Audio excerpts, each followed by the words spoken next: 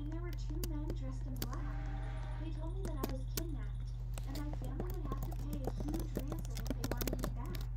I was horrified, and I was kept in that room for two days. Then one day, I heard some footsteps.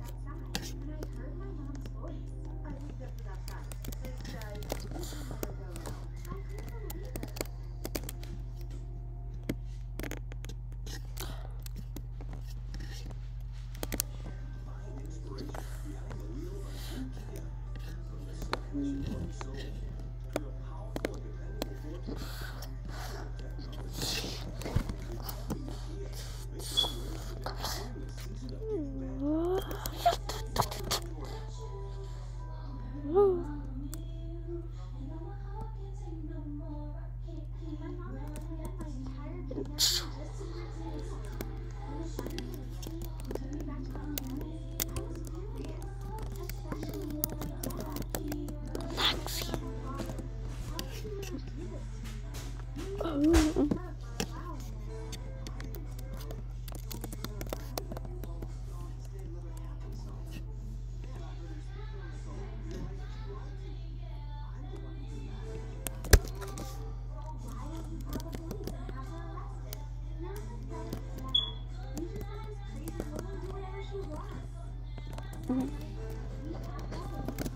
Dame.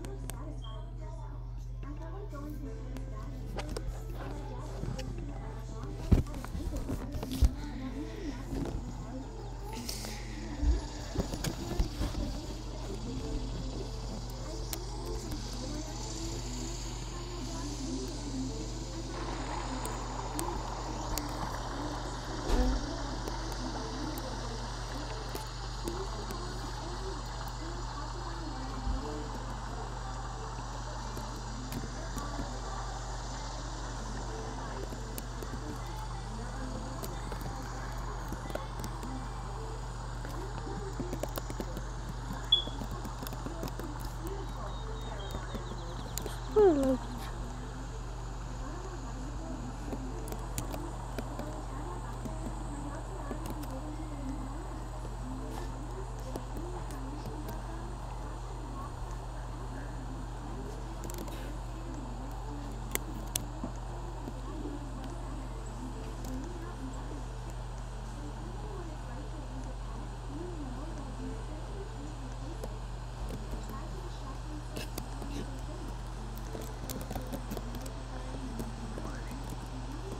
cool.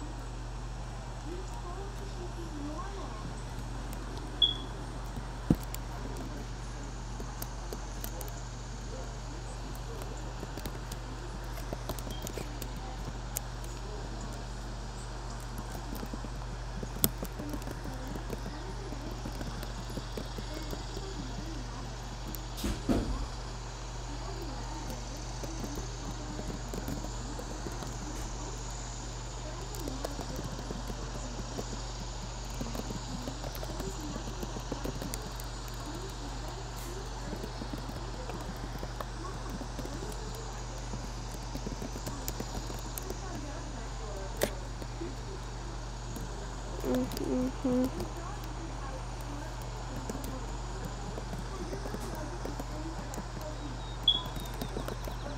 Não, eu vou não.